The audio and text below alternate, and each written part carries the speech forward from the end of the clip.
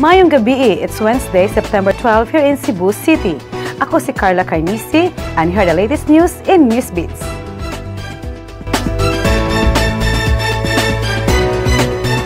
Usa ang patay samtang usa ang nadakpan ato sa managlahing operasyon batok illegal nga droga sa dakbayan sa Talisay. Samtang kapulisan ug ubang ahensya sa gobyerno sa Central Visayas nagtagbo aron isgutan ang paday problema sa illegal nga droga sa rehiyon. Anan tayo sa report ni Justin Vistil. Patay ang gituuhang tigpayuhot og illegal nga drogas human giingong misuko sa kapulisan ato sa anti-illegal drug operation sa barangay Tangke, Dakbayan sa Talisay kagadiyang kadlawon. Gila sa kapulisan ang napatay nga si Billy Bagyo nga taga Sitio Galaxy sa Barangay Tangke sa Maong Dakbayan.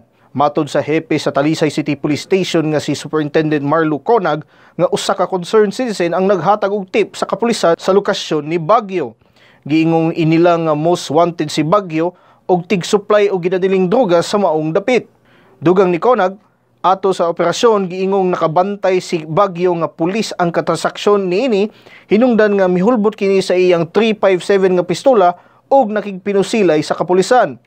Apan ang sakop sa drug enforcement units nakabalos kang Bagyo, hinungdan sa iyang kamatayon. Nakuha kang Bagyo ang unom kagagmay nga pakete sa gituong shabu, drug paraphernalia ug ang pistola.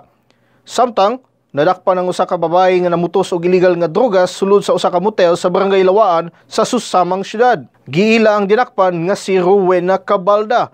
Nakuha sa iyang posisyon ang 28 gramos sa gituohang shabu ug mga drug repacking paraphernalia. Matod sa dinakpan nga naggikan sa dakbayan sa Sugbo ang iyang supplier sa illegal nga droga. Tungod sa nagkagabi nga problema sa illegal nga drogas, gipahigayon ng labing unang Regional Interagency Committee on Anti-Illegal Drugs Coordinating Group kon RICG aron pagpakgang sa tanang supplier sa illegal nga drogas. Gihulagway usab ni PRO7 Director Debold Sinas nga ang barangay Tangki sa Dakbayan sa Talisay ang usa sa barangay nga dungguanan sa mga illegal nga drogas. Nagbutang na og personnel gikan sa Regional Mobile Force Battalion ang PRO7 aron mutabang pagbatok sa illegal nga kalihukan lakip na sa drug trafficking sa barangay Tangke. Justin Vistil, Newsbits.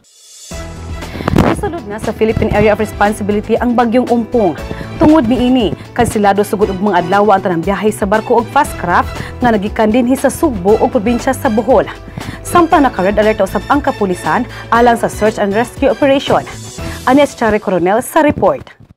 Hingpit nang nakasulod sa Philippine Area of Responsibility KUNPAR ang bagyong umpong nga may international name nga mangkot. Tungod ni ini, gisuspenso kaganiyang hapon ni Lapu-Lapu City Mayor Paz Radasa ang klase sa tanang level sa publiko o pribadong tunghaan, gikan sa kindergarten hangtod sa high school, pagpangandam sa epekto sa bagyong umpong. Apan dugang ni Radaza nga magdepende na sa diskresyon gikan sa Department of Education ang pagsuspenso gihapon sa klase sa musnod nga mga adlaw adlaw. Gianunsyo sab sa Philippine Coast Guard sa Central Visayas nga kansilado sugod ugma sa udto ang tanang biyahe sa mga barko ug fast craft nga magikan sa Sugbo ug Bohol. Samtang naka-red alert na ang kapulisan sa Central Visayas nunot sa pagsulod ni umpong sa nasud. Gimanduan na ni PRO Central Visayas Director Debold Sinas ang lower units ug duha ka police station sa syudad sa Sugbo sa pag-andam sa search and rescue equipment. Matod sa pag-asa, pipila ka bahin Northern Luzon ang labing maapektuhan sa bagyong umpong ug masinati ang pagbunok sa kusog nga uwan ug mao sa adlong Biyernes. Apan bisan pa man wala kini direkta nga epekto sa Visayas, makasinati gihapon og bati nga panahon ang Kabisayan. Gibana-banang mo landfall si umpong karong umaabot nga adlong Sabado. Giawhag ang publiko ilabi na kadtong nagpuyo sa coastal ug landslide prone areas sa pagbakwit sa mas dali nga panahon. Chari Coronel, Newsbeats. Naglamang mga skaters dakbayan sa Sugbo nga madayon na ang pagtukod sa skate park sa luna sa South Road Properties. Aniya si Roman Rivera sa report. Ingon ini ka risgo ang kinabuhi sa mga batanon nga skaters sa dakbayan sa Sugbo. Walay klarong lugar nga kaduwaan, ngit-ngit, abog ug kuyaw. Apan kining tanan wala pa nga sa grupo sa mga batanon nga among naabtan nga nagduwa daplin sa dalan. Among naila-ila si Jimar Villamor. Matod niya, lima ka tuig na siyang nagdula og skateboarding daplin sa dalan og nang hinaot nga unta aduna na skate park alang nila. Ato sa mi sa Mingla. Mora man namong kuan, wa mamilain doan. Wa mi skate park. hinaot ta nga nanajud mi enta skate park. Bilang saan wa gyapon. May pang Davao nanna nya kami. Wa.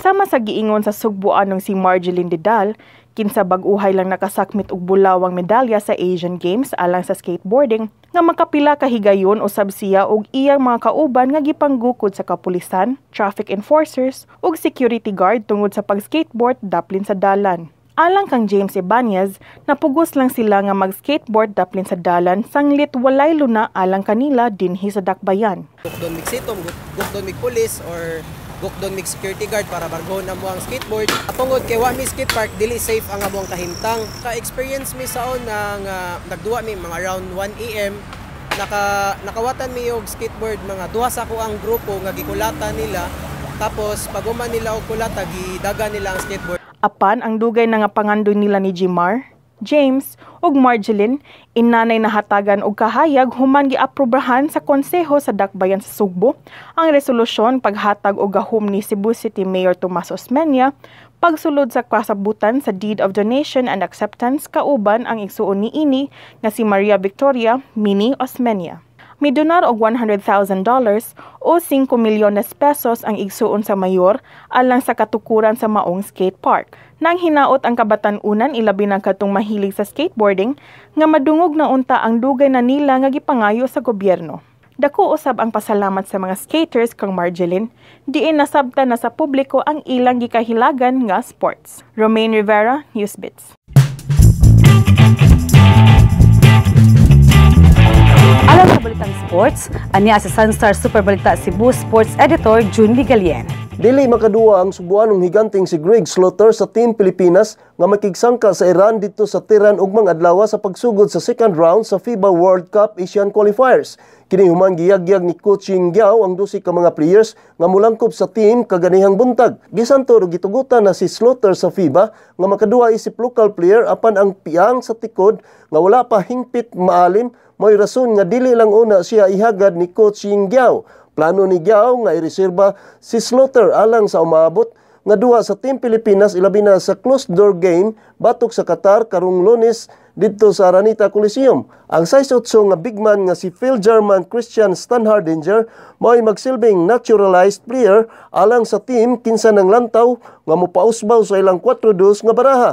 Masubhan ni Gao isip bagong sakop sa national squad sila si Scotty Thompson, Alex Cabagnot ug Ayan Sanggalang ug naginaminamusab si Marcio Lasiter sa iyang pagbalik. Ang mukumpleto sa lineup mao sila si Paul Lee, Gabe Norwood, Raymond Almasan, Bew Belga, Asi Taluaba, GP Ram ug Alin Maliksi. June Migalien, News Bets.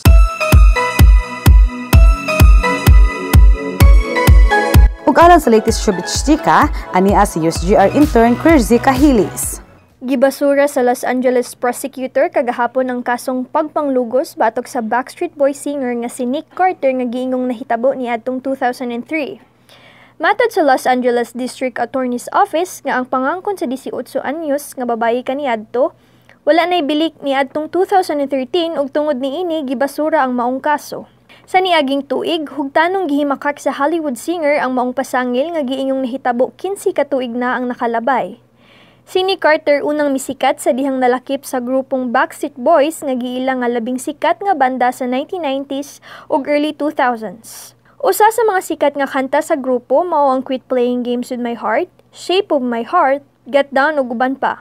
Ang maong akusasyon unang mibuto tungod sa hashtag nga MeToo sa social media. Dinhi saysay sa mga nabiktima sa pagpanglugos ang ilang kasinatian o kasagaran nga naglambigit ini mga celebrities, politiko ug negosyante diin ubay-ubay na usab kanila ang mikanaog sa pwesto ug ang uban gitaktak sa katungdanan. Kersey Cahilis, Newsbeats. Ug mo naglangkob sa mga nagunang balita. For more updates, visit our website at www.sunstar.com.ph. Subscribe to our YouTube channel and follow us on our social media accounts on Twitter and Facebook. Ako si Carla Carnisi, o kini ang Newsbeats.